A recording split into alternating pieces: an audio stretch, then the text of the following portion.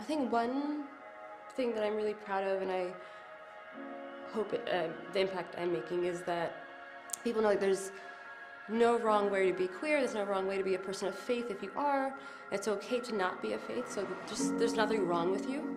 I do tons of different sorts of advocacy work. For me, being queer, being non-binary, being black, being from the South, having experienced homelessness in many forms, um, centers me and situates me in the right position to lead the work that I lead.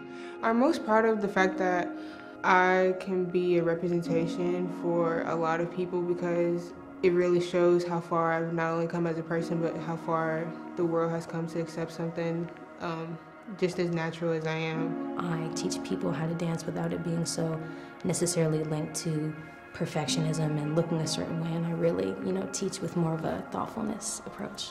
For me, fighting for my trans siblings was never really an option, more and more of a necessity than anything else. You know, we have been screaming what we need for years.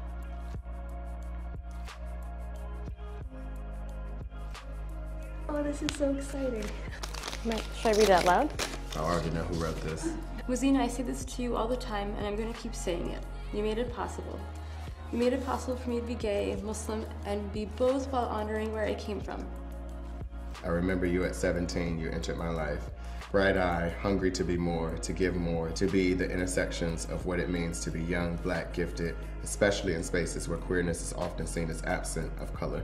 You have spoken so eloquently on what it means to be gay. I am lucky to call you my daughter and feel so blessed to have you in my life. You've walked through doors that most of us could only dream about. That's only one of the reasons that I'm proud of you. You're an inspiration to me, not because of who you are by chance of birth or environment or identity. We deserve to be here, to be everywhere, and we're telling, not asking. I see you live that every day.